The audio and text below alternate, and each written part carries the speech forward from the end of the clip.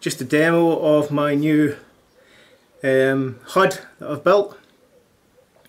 Standard thing, you've got the GoPro on, um, cheap Japanese, uh, Chinese fighter pilot helmet, but as you can see I have a monocle HUD that I've built into it, which used to be, I used to have it separately on a pair of headphones, but I've made it a little bit better.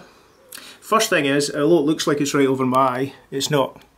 It's actually um, above my eye. So usually when I'm flying, from pretty much horizontal down I can see fine. But if I look up, I see the HUD.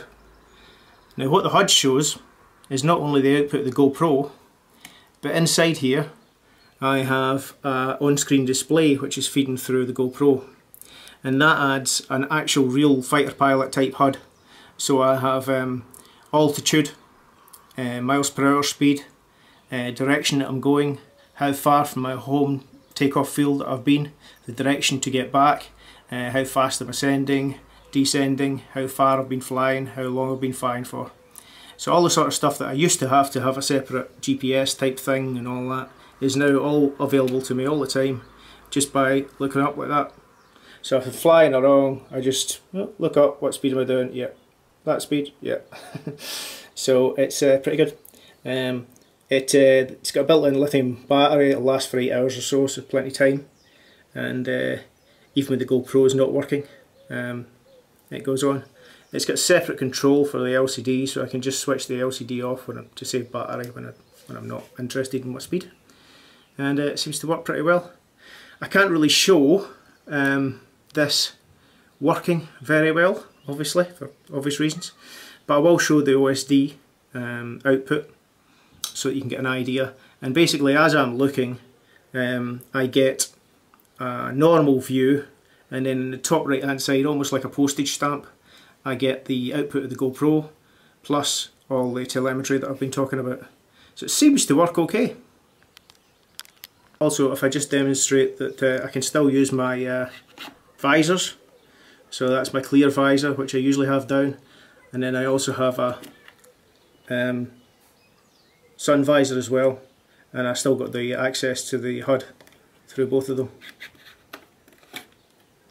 Um, at the moment I'm running simply with Peltor ear defenders um, but I have a facility that I can put uh, speakers in there and stuff but I don't usually fly with a radio and although I had it set up for Bluetooth and iPhone I never actually used it very much so I've not bothered now. All I've got is, is, is the, uh, the HUD.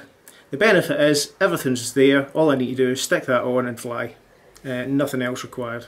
Um, so, there you go.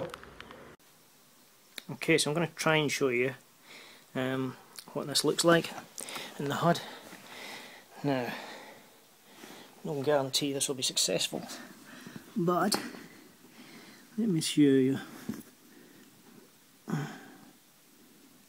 Okay, there we go. Can you see that?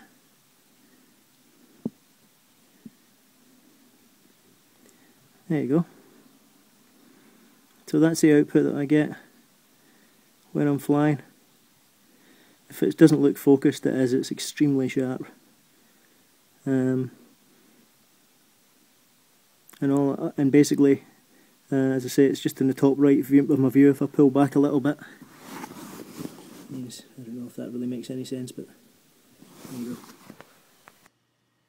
Okay, so here's just some pictures showing you the helmet uh, and another one with the visor down. Close up obviously needs to be tidied up a little bit. And here's the actual uh, OSD information. You can see some of it's only relevant for radio control. But most of it is relevant for us, or me anyway.